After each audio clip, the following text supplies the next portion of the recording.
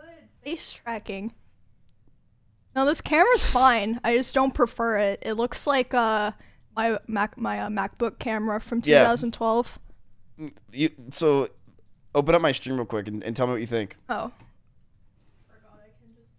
Yeah. Chat, what do you guys think? Wait, c- can you?